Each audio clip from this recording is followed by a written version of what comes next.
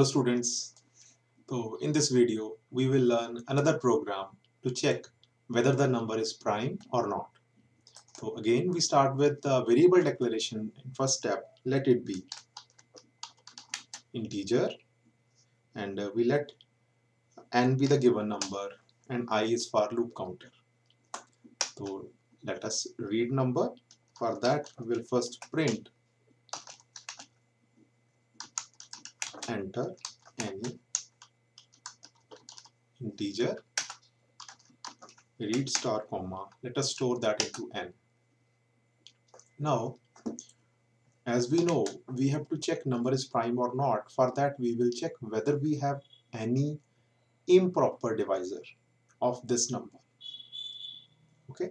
So for that we write the loop i from actually it starts from 2 to n minus 1 because 1 and itself are its trivial divisors. To accept those, if we get any divisor, then that number is not prime, otherwise it is prime. So let us see how we can uh, uh execute this. So we have taken the range from 2 to n minus 1. And what we have to check, whether this divide this. Whenever we have the concept of division, so the division algorithm strikes to our mind. So for that we need to check remainder is 0. So how can we check remainder 0 in Fortran? You see for that I have to write if mod n comma i equal to 0 dot 0. Now you see if n concurrent i is 0 that means we got a divisor. So we write here then and we will print print star comma. Number is not prime. And if and 10 continue and uh, so after we came out of this loop once we came out of this loop you see the value of i is already n already n. So again we write here print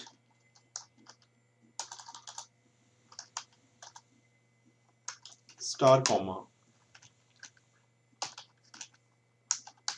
Number is prime now to avoid that every time this statement will be printed, we have to write a if statement.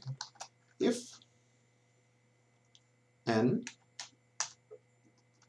equal i, then this will be printed. And uh, here we add another statement that is stop read star and uh, similarly here read star stop. Oh, let me save this. Then uh, I will tell you what I, I have written here. Prime.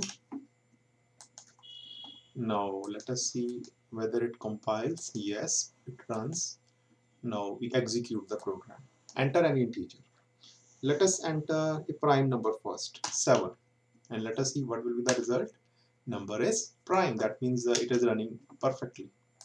Let us enter another number. Let it be 10 and you see number is not prime. Okay let us see for a uh, bigger number. Let it be 101 this is a prime number. And uh, as we all know 729 is not a prime. So number is not a prime so our program runs perfectly. So here I will explain. You see, uh, as I already explained here in this statement, what we have calculated, we have calculated the remainder because mod is a inbuilt function which gives us how much we get n modulo i, remainder. And when that remainder equal to 0, this statement is true, our execution control will come inside of this. There we have to print, this is not a prime. Now you see if we get a divisor so there is no fun to execute this loop again and again once we get a divisor. So that's why we have written a stop here. So once this will be printed, it will stop the execution of this loop and come out of this loop.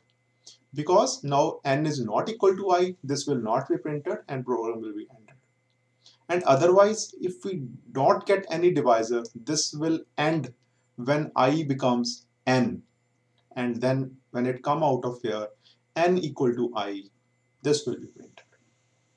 So I hope you got an idea how to write this program.